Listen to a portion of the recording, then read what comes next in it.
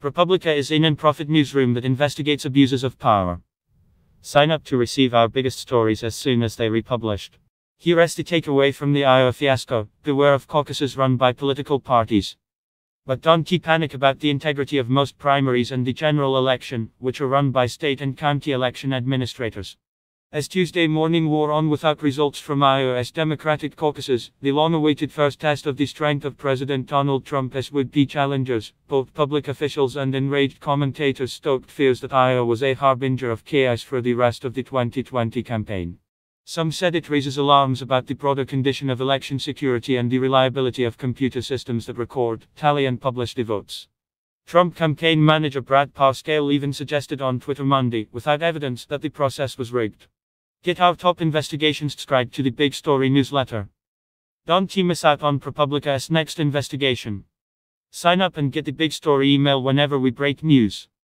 Email address aside is protected by reCAPTCHA and the Google privacy policy and terms of service apply.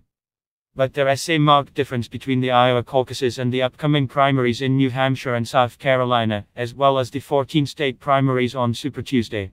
The Iowa Democratic Party ran the caucuses, much as its counterparts in Nevada, Wyoming and several territories will do in the next few months.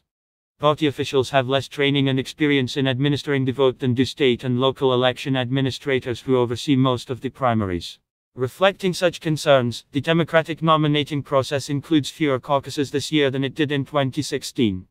The Democratic National Committee has called for using government run primaries rather than party run caucuses. Caucuses are run by rank amateurs. Even though we have concerns about the capacity of election officials, at least this is what they do a lot of, said Charles Stewart, who runs MIT's Election Data and Science Lab. Even in the smallest of jurisdictions you run a lot of elections, you have contingency plans. The parties, bless their hearts, they don't do this very much and that's the bottom line.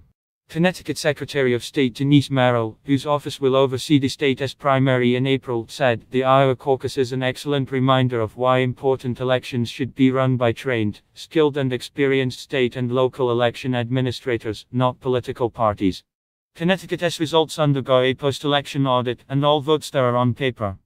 Connecticut's voters should be confident that they can trust the results of our elections, she said. In retrospect, Iowa's Democratic Party made one mistake after another. It introduced a new app, widely reported to have been made by a company called Shadow Inc. Without sufficient testing, training of precinct captains or transparency. At the same time it made reporting requirements more complex, so that the Democratic volunteers who manage individual precincts were required to provide three times as many data points as in past caucuses on a brand new app many had never been trained to use. There were also many more candidates this year, further multiplying the amount of information to be reported. Party officials didn't hire enough people to take reports by phone in case the system failed. And they managed expectations poorly, assuring the public that results would be published faster than ever before.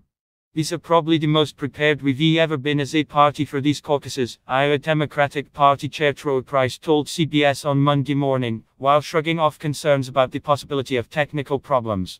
We're ready. A presidential preference card used this year in the Iowa Democratic Party caucus in Fort Madison.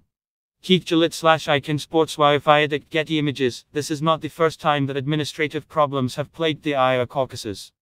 In 2012, Mitt Romney was declared the winner of the Republican caucuses shortly after 1:30 a.m.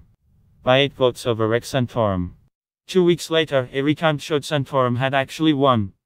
And in 2016, Hillary Clinton's campaign declared victory after 2:30 a.m. Um, even though official counting was not completed until that afternoon. This year, the brand new technology, lack of training and overconfidence by the state party amounted to a perfect storm. Government officials said they became aware of problems in the late afternoon, when precinct chairs began to report problems logging into the app. Many gave up on the app and began calling results in ST. You can read full post on Crypto Fans. News link available in text below.